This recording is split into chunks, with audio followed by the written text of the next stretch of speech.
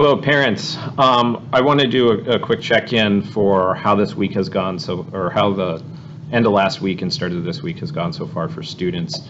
Um, we have been working in language arts, sixth grade language arts, in our Springboard textbook.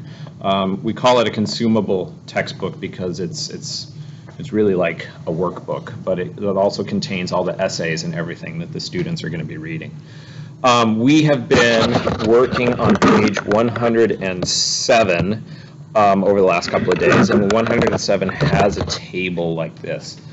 Um, if you could take a look at your child's book, and, and please let me know how they're, if they're filling in their table and how that's going. That will let me evaluate how well Zoom is working.